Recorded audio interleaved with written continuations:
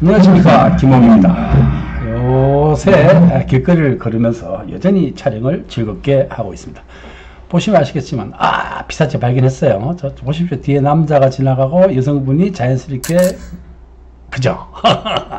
남자와 여자가 대치하는 듯한 여성분은 왼쪽을 보고 남자는 오른쪽으로 올라가고 이런 장면들이 길거리에서 자주 만날 수 있죠.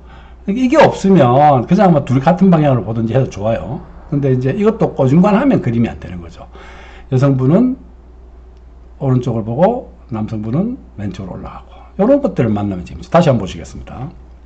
피사체를 만나서 거침없이 셔터를 끊습니다. 아, 그 주춤거리면 안 되거든요. 주춤거리면 어, 결정적 순간으로 날아가거니와 특히 렌즈에 캡을 꽂고 있으면 캡 열다가 이런 장면이 날아가거든요.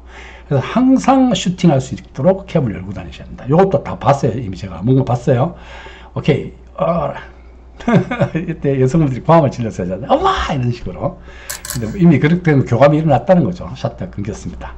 에, 제가 이걸 찍을 때는 조금 전에 에, 오른편에 있던 커피를 들고 있는 여성이 에, 뭐 이렇게 손을 가리키면서 커피 포트 커피 이 커피 플라스틱 통이 화면 안으로 들어올 것을 기대하고 샷터를 눌렀는데 아 그건 우연 그 우연은 발, 발행 발생하지 않았어요.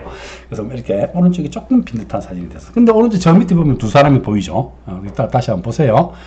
철수와 영희 이건 또 재밌습니다. 이 사진 볼까요? 앞에 있는 외국인 여성이 아 저보세요. 제가 지금 그림자 보이죠? 찍고 있죠? 찍고 있어요. 저작 아 개. 그죠? 그 복잡한 상황에서도 저 여성만 정확하게 겨누어서 찍은 거죠.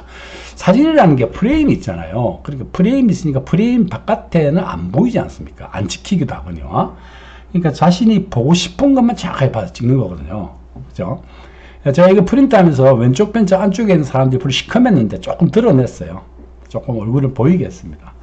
예, 안쪽에서 한복 골라 있기도 하고, 그죠? 이제 한복을 고를까 말까? 뭐 이런 거, 어, 궁리하고 있는. 우리나라가 지금 글로벌하죠. 네, 그런 상황을 보여주었다. 이렇게 생각하시면 좋을 것 같습니다. 오늘도 즐거운 사진 촬영, 길거리 사진 촬영의 김홍이었습니다. 좋은 날 되십시오. 감사합니다.